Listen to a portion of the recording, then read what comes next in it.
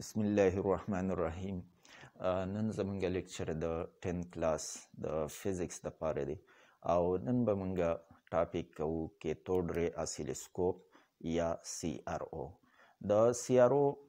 یا د کیتود ری اسیلسکوپ سټرکچر او په دې کې چې کوم حصي دي درې مین حصي دي په دې کې په دې باندې به خبره کوو کیتود رې اسیلسکوپ په دریو حصو باندې مشتملی یو ته مونږه الکتران ګن وایو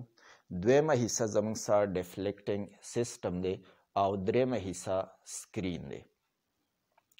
اول راځو الکتران ګن ته الکترون ګن ځان له په پنځو حصو باندې تاسو اینئ چې یک دو تین دا چار او دا پنج پنځه حصې دي په دې کې دا اولنۍ حصه کې یو فیلامنټ چې هغه بیټري سورس ته کنیکټ دي د دې کار د دې فیلامنټ کار دا دی چې دا هیټ پیدا کوي نو دا د هیټر په تور باندې دلته کار کوي دې له چې کوم ولټیج ورکړی کیږي تقریبا د دو امپیر پورې میکسیمم کرنټ د دې نه پاس کیږي او دا فیلامنټ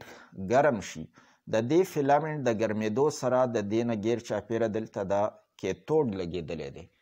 دا کیتوډ ګرمول د دې فیلامنټ کار دی دا کیتود چې ګرم شي نو د ګرمېدو سره په دې کې د الکترون ایجکټ کولو صلاحیت پیدا شي چې دغه ته مونږه ترمیانیک ایمیشن وایو چې د ګرمېدو سره یو سیز الکترون ریلیز کوي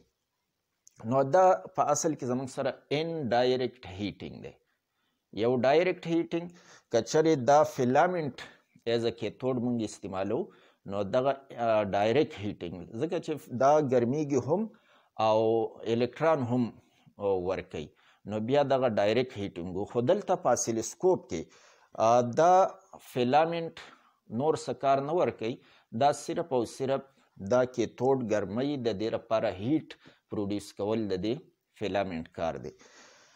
بیا دا دویم چې په دې کې تاسو دا لاینی نه دا کیتود دی کم چې په ګرمېدو باندې الکترون ریلیز کوي د دې خواته الکترون کلاود پیدا شي دا الکترون کلاوډ بیا مخکې بوتلل د هغې نه یو ری جوړول هغه فوکس کول نو د هغې د پاره دلته دا درې حصې تاسو یې نه په دې کې دا یو زموږ سره نیګټو پوتنشل ته چې کوم اټیچ دی دا هم کیتود دی خو دا سی جی یعنی کنټرول ګریډ دی کنټرول ګریډ زمونږ سره څه چل کوي څه کار کوي نو د کنټرول ګریډ د الکترانو تعداد کنټرول کول دي چې مونږ ته ضرورت څومره دی د الکترانو انټنسټي څومره پکار ده د دغه د کنټرول کولو د پاره د نیگیټو پوتنشل ته چې کوم دا پلیټ اټیچ دی یا کیتود اټیچ دی دا د الکترون کنټرول کولو کار ورکوي او د الکترون کنټرول کولو کار څنګه ورکوي چې څومره د دې دا نیگیټو پوتنشل زیاتی نو نیگیټو پوتنشل په وجه باندې الکترون دغه کیږي ریپل کیږي نو الکترون به زیات دی خو نه پریدي او چې څومره د دې دا پوټنشل مونږ کم ساتو نو د دې نه به الکترون په اسانۍ سره پاس کیږي نو دا د الکترون کنټرول کولو کار ورکوي ځکه ورته کنټرول ګریډ وایي دویم بیا په دې پسې انوډ لګېدلی دی چې دې ته اکسلریټینګ انوډ مونږ ویلی شو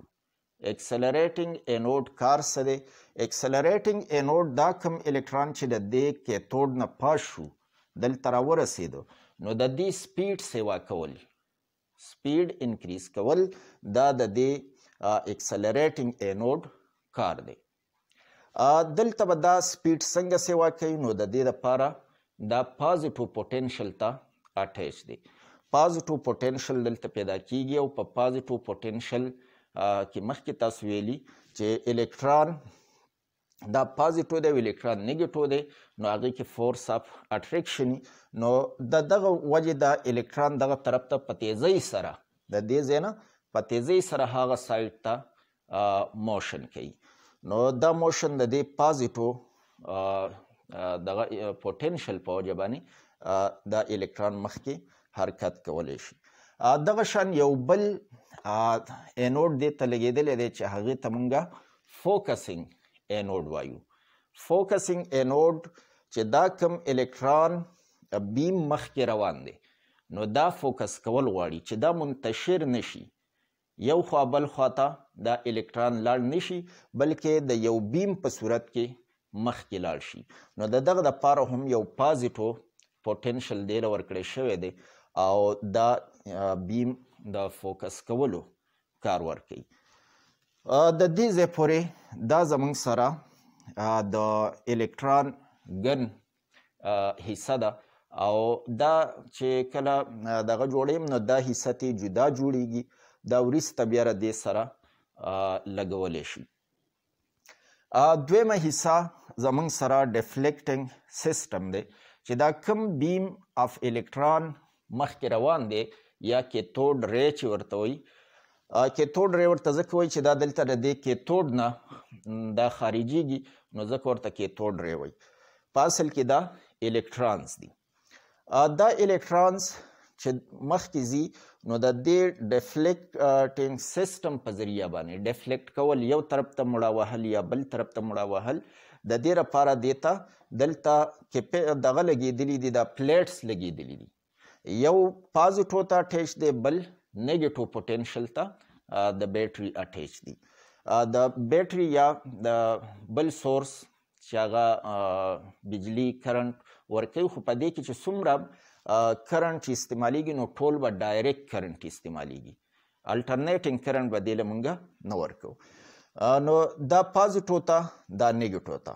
نو د دې دوه پلیټس په منځ کې به یو الکتریک فیلډ پیدا شي مونږ ویلو چې د پازیټو نه نیګیټو طرف ته زمونږ سره الکتریک فیلډ داسې پیدا کیږي اوس چې الکترونز په دې ځای کې موشن کوي پرپینډیکولر دی فیلډ ته نو دا به ټوورډز د پازیټو پلیټ بنډ کیږي او څومره چې د دې پوتنشل زیات نو هغومره به ډیفلیکشن زیات کیږي دغه شان دا دوه پلیټس خو داسې لګېدلي دي نو د دې په وجه باندې کم الکترون بیم چې دی یعنی کې توډ ری چې ده هغه چې دا پوتنشل د دوه پلیټس زیات نو هغه به داسې دې طرف ته زیات ډیفلیکشن کوي او که د دې پوتنشل زموږ څخه کمی نو په دغه الکترون بیم باندې به د دې اثر کمی او دا به سټریټ مخکې ځي معمولی غونته کې ډیفلیکشن به کوي د دې نه چې پاس شي نو بیا ورته دوه پلیټس داسې لګېدلي دا هم یو د پازیټو سره او یو د نیګیټو سره اټیچ دی د دې په منځ کې هم چې کوم پوتنشل پیدا کیږي نو دلته به کوم الکترون بیم چې دی هغه به د پازیټو پلیټ طرف ته بند کیږي نو داسې هوریزنټلی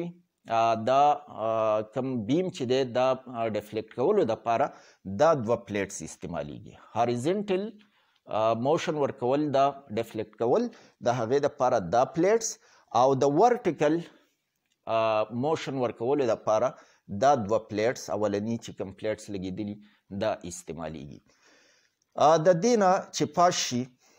نو دا بیم بیا مخکې دی سکرین طرف ته ځي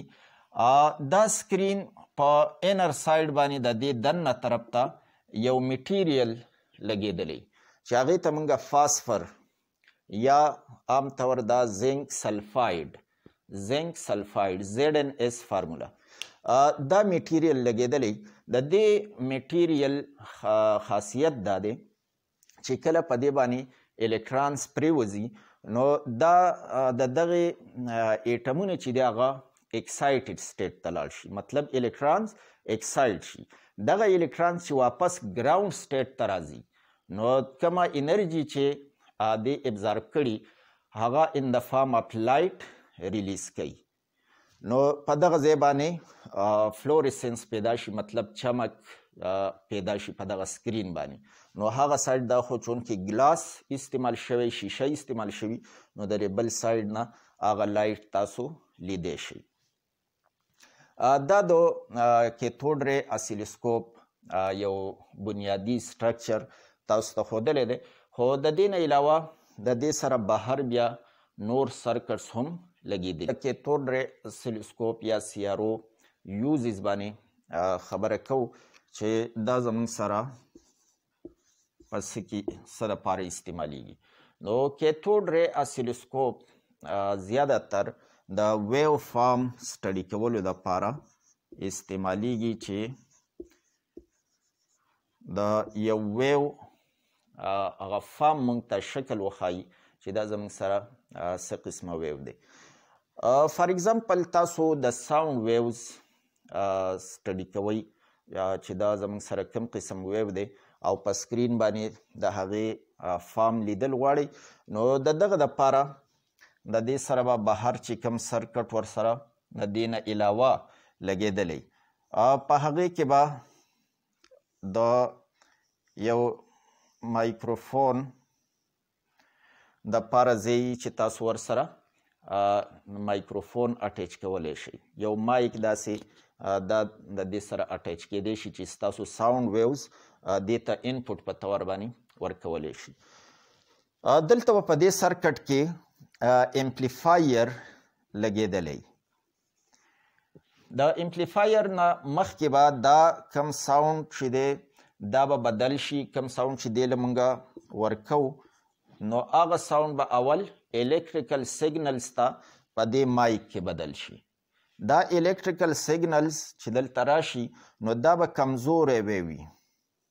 ولټیج کمیده زیاتیدو په صورت کې به داسې یو ویو ورکوي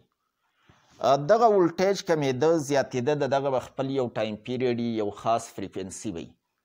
اوس داسې یو آله مونږ ته په کار ده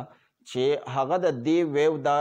چې دا ډیر کمزورې ویو دی د دې دا طاقت سیوا کی نو هغه آلې ته امپلیفایر وي او امپلیفایر نه چې دا پاس کیږي نو د دې طاقت به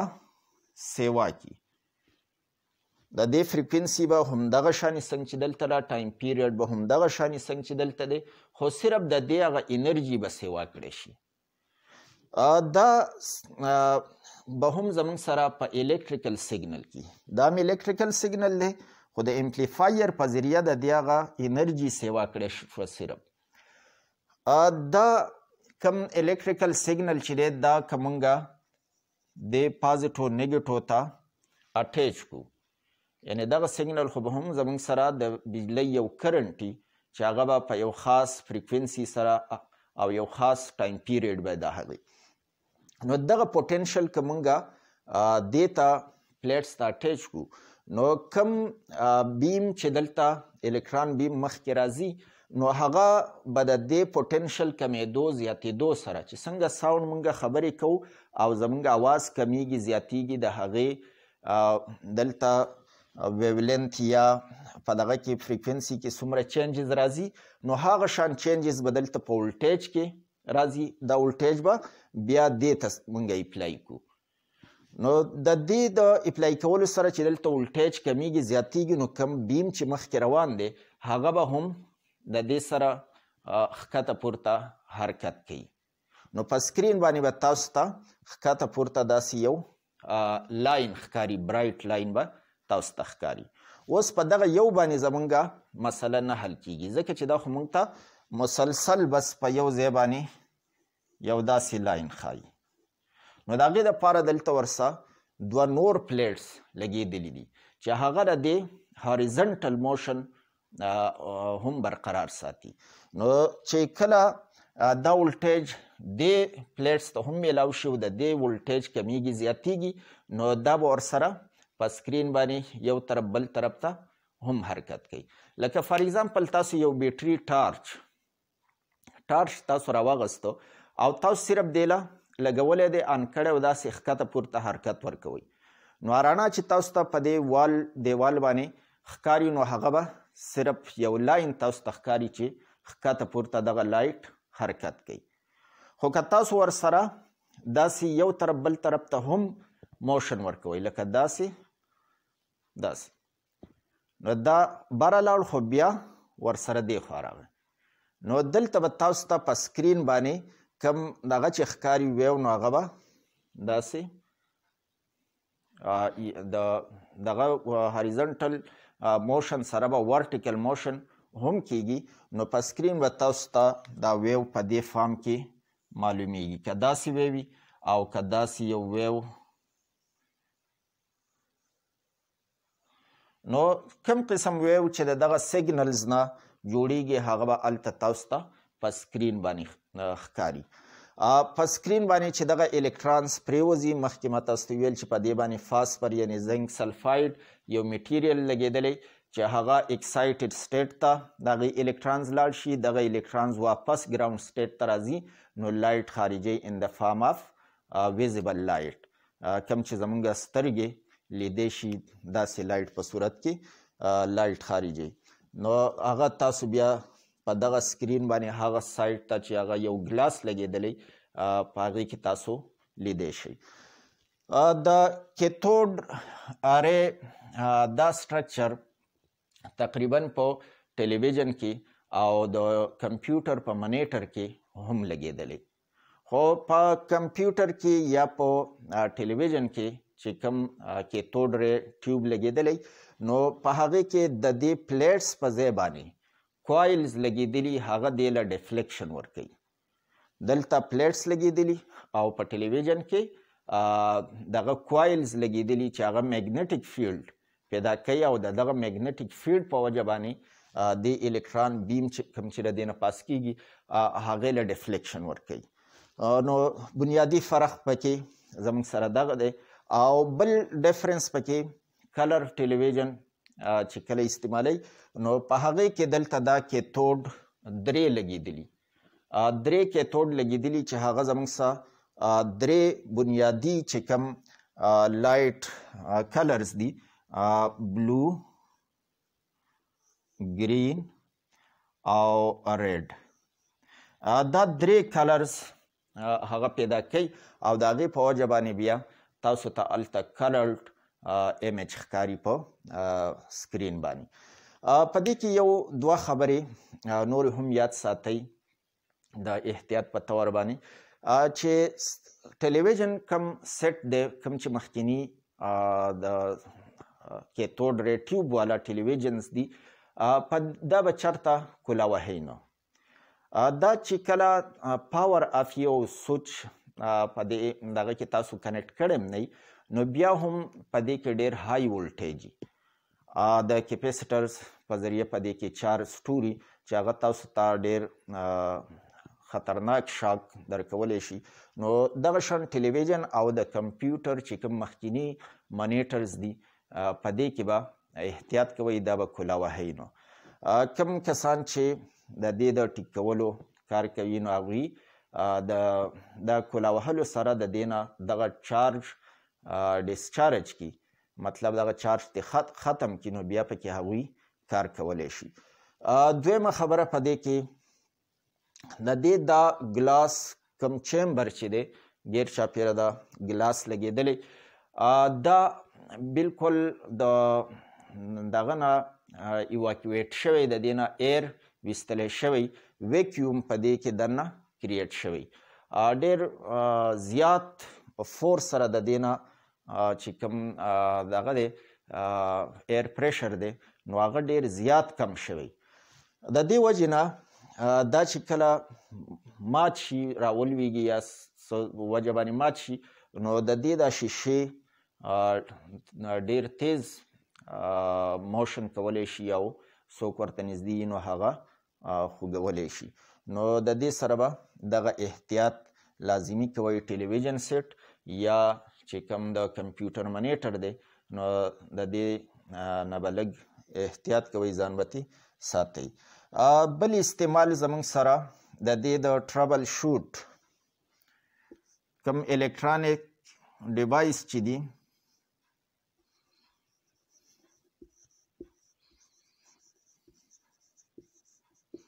ټربل شوټینګ کې چې په کوم الکترونیک ډیوایس کې څه فالټ دي د هغې معلومولو دپاره چې په کوم ځای کې څه فالټ دی نو هغه مونږ د دې کیتود ریا سیلسکوپ په ذریعه باندې معلومولی شو په اسانۍ سره. د دې نه علاوه دا د ولټیج میجرمنټ کولو لپاره هم استعمالیږي خو دغه دومره اهم خبره نه ده دا دوه خبرې زیاتې اهم دي چې یو ویو فارم معلومول او بل ټربل شوټ چې مختلف الکترونیک ډیوایسز چې په هغې کې په کوم ځای کې فالټي نو د هغې معلومولو لپاره دا استعمالیږي نن د پاره دا پوره ده ویډیوز لازما لایک کړئ او چینل پښتو ټیوټر سبسکرایب کړئ ثانکس الاټ